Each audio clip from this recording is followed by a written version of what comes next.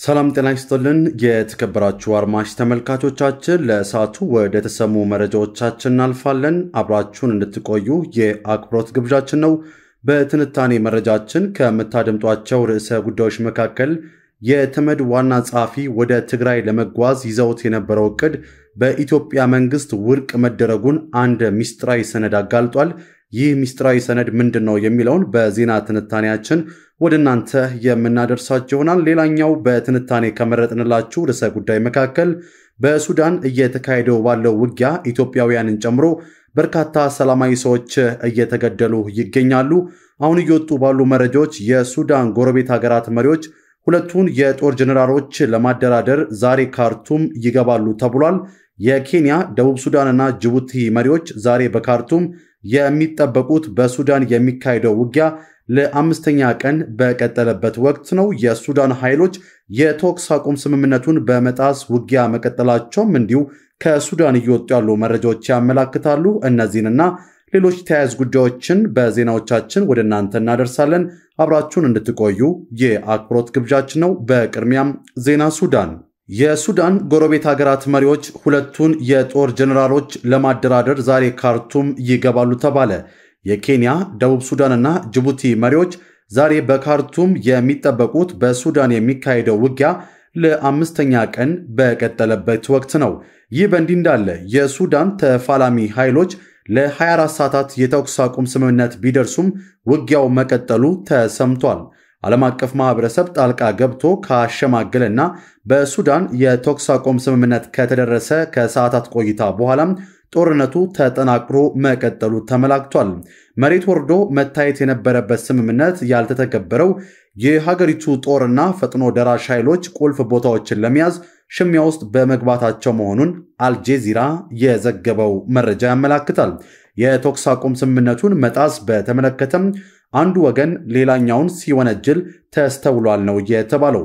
በካርቱም የሚገኙ የቴሌቪዥን ማሰራጫ ጣቢያዎች የቀጥታ ስርጭት መርሃ ግብሮች ላይ ከፍተኛ የተኩስ ድምፅ ከጀርባ ሲሰማ እንደነበረም ተሰምቷል። በሱዳን ወታደራዊ መሪ ጀኔራል አብዱልፈታህ አልቡርሃን በሚመሩት የሱዳን ጦርና ምክትላቸው መሐመድ ሐምዳን ዳጋሎ በሚመሩት የሱዳን ፈጥኖ ደራሽ ኃይል መካከል የተፈጠረው ግጭት አምስተኛ ቀኑን አስቆጥሯል። በግጭቱም እስካሁን 200 በላይ ንጹሐን ዜጎች ለህልፈት መዳረጋቸውን ነው መረጃዎች የሚጠቁሙት። የተከበራችሁ አድማጭ ተመልካቾቻችን ከዚህ ዘገባ ቀደም ብሎ በወጣ መረጃ በሱዳን እየተካሄደ ባለው ውጊያ ኢትዮጵያውያንን ጨምሮ በርካታ ሰላማዊ ሰዎች እየተገደሉ እንደሆነ ከሱዳን እየወጡ ያሉ መረጃዎች ያመላክታሉ። በሱዳን የኢትዮጵያ ኤምባሲ በሱዳን እየተካሄደ ባለው ውጊያ በርካታ ሲቪሎች ለጉዳት መዳረጋቸውን ሕይወትም እየተቀጠፈ መሆኑ ገልጿል። ኤምባሲው ምን ያህል ኢትዮጵያውያን እንደሞቱና እንደተጎዱ ግን በዝርዝር ከመግለጽ ተቆጥቧል። ነገር ግን በኢትዮጵያውያን ሞትና ጉዳት የተሰማውን ጥልቅ ሐዘን እንደገለጸም የደረሰ መረጃም ያመላክታል። ይህ አስቸጋሪን ጊዜ ለማለፍ ኢትዮጵያውያን የተቻላቸውን ሁሉ ጥንቃቄ እንዲያደርጉ በድጋሚ እናሳስባለን ብሏል ኤምባሲውም። በሌላ በኩል ከትላንት በስቲያ ምሽት አንስቶ በሱዳን የማህበራዊ መገናኛዎች ላይ አንድ ቪዲዮ ሲሰራጭ እንደነበረም ተሰምቷል። ይህ ቪዲዮም በመገናኛ ብዙሃን እጅግ አነጋጋሪ ሆኖ ቀጥሏል። ቪዲዮ በመድፍ የተመታ ቤትን የሚያሳይ ሲሆን በቤት ውስጥ የሚኖሩት ኢትዮጵያውያን እንደነበሩና ሁሉም ወዲያው ሕይወታቸው እንዳለፈ ነው የተነገረው። ቁጥራቸው ምን ያህል እንደሆነ ግን የተገለጸ ነገር የለም። ስለተሰራጨው ቪዲዮና ስለደረሰው ጉዳት ትክክለኝነት በሱዳን የኢትዮጵያ ኤምባሲ ያለው ነገር የለም። በሱዳን እየተካሄደ ያለው ውጊያ በከተማ ውስጥ እየተደረገ መሆኑ በዛው የሚኖሩ የኢትዮጵያ ዜጎችን ጨምሮ የመላው ሱዳናውያንን ደህንነት አደጋ ላይ እንደጣለም ይታወቃል። ይህ በእንዲህ እንዳለ የአሁኑን የሱዳን ግጭት በመጥመቅ ብዙ ሀገሮች ስማቸው እየተነሳ ይገኛል። ሀያላን ሀገራትም ጥቅማቸውን ለማስጠበቅ እየተውተረተሩ እንደሚገኝ እየወጡ ያሉ መረጃዎች ያመላክታል።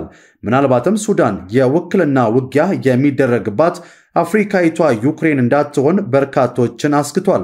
ሰሞነኛውን የሱዳን ትኩሳት ያስተዋሉ ተንታኞች ራሽያና አሜሪካ በሱዳን ጥቅማቸውን ማስጠበቅ ይፈልጋሉ ሲሉ አስተያየታቸውን እየሰጡ ይገኛሉ።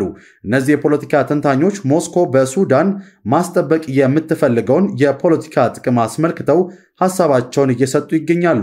ዩናይትድ ስቴትስም ብትሆን በምስራቅ አፍሪካ ያላትን ገናናነት መስበር ትፈልጋለች ይላሉ።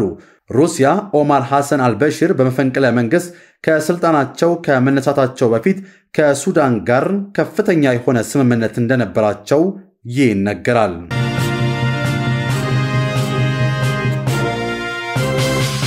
የተከበራችሁ አድማጭ ተመልካቾቻችን ወደ ቀጣዩ ምስጢራዊ ሰነድ እናልፋለን። የተመድ ዋና ጸሐፊ ወደ ትግራይ ለመጓዝ ይዘውት የነበረው ዕቅድ በኢትዮጵያ መንግሥት ውድቅ መደረጉን አንድ ምስጢራዊ ሰነድ አጋልጧል። የተባበሩት መንግሥታት ድርጅት ዋና ጸሐፊ አንቶኒዮ ጉቴሬስ ወደ ትግራይ ለመጓዝ የያዙት ዕቅድ በኢትዮጵያ መንግሥት ውድቅ በመደረጉ ክፉኛ ተበሳጭተው እንደነበረም ዋሽንግተን ፖስት ጋዜጣ የተመለከተው አንድ ምስጢራዊ ሰነድ አጋልጧል። የዋና ጸሐፊው ጥያቄ በኢትዮጵያ መንግሥት ተቀባይነት አለማግኘቱን በመግለጽ ለጉቴሬስ ደብዳቤ የጻፉላቸው ምክትል ጠቅላይ ሚኒስትርና የውጭ ጉዳይ ሚኒስትር አቶ ደመቀ መኮንን መሆናቸውን በዚሁ ምስጢራዊ ሰነድ ይፋ መደረጉ ተሰምቷል። ጉቴሬስ የትግራይ ጉብኝታቸው መሰረዙን ጨምሮ በሌሎች ዓለም አቀፍ ጉዳዮች ላይ የነበራቸውን መስተጋብሮች የያዙት ምስጢራዊ ሰነዶች አፈትልከው የወጡት ከአሜሪካ መንግስት እጅ ነው። ዲስኮርድ በተሰኘው የመልእክት መለዋወጫ server የተለቀቁትን እነዚህን ሰነዶች ያወጣው የማሳቹሴት የአየር ኃይል ብሔራዊ ዘብ ባልደረባ የነበረ የ21 ዓመት ወጣት ነው ተብሏል።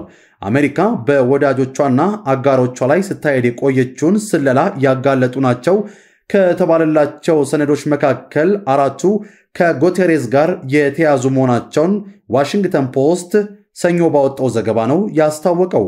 በሰነዶቹ የተካተቱ ይዘቶች የተመድ ዋና ጸሐፊ የተናገራቸውንና የእርሳቸው ረዳቶች ያሉትን በቀጥታ የሚጠቅሱ እንዲሁም የአሜሪካ የደህንነት ባለሥልጣናት ስለ ጉቴሬዝ ስሜቶች የሰጧቸውን ትንተናዎች የተቀላቀሉ እንደሆነ የጋዜጣውን ዘገባ አመላክቶ ኢትዮጵያ ኢንሳይደር ነው ዘገባውን ያጠናከረው።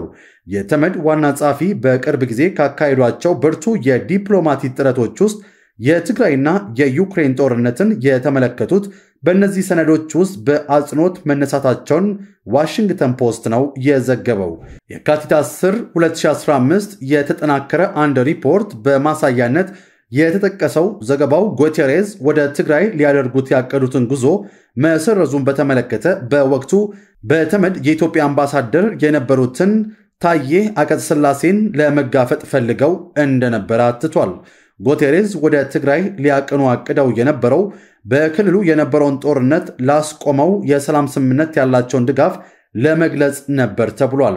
የተመድ ዋና ጸሐፊ የካቲት 11 12 2015 በተካሄደው የአፍሪካ ህብረት የመሪዎች ጉባኤ ላይ ከተካፈሉ በኋላ ትግራይን ለመጎብኘት ወደ ስፍራው እንደሚበሩ ሪፖርተር ጋዜጣ የዲፕሎማቲክ ምንጮቹን ጠቅሶ በወቅቱ ዘግቦ እንደነበር የሚታወስ ነው።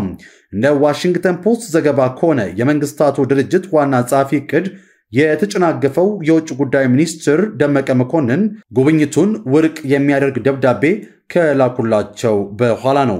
ጉቴሬስ በዚህ ደብዳቤ ክፉኛ መበሳጨታቸውን የሚገልጽ መልእክት በአምባሳደር ታዬ በኩል ለአቶ ደመቀ እንዲደርስ ፈልገው እንደነበረ ዘገባው አመላክቷል።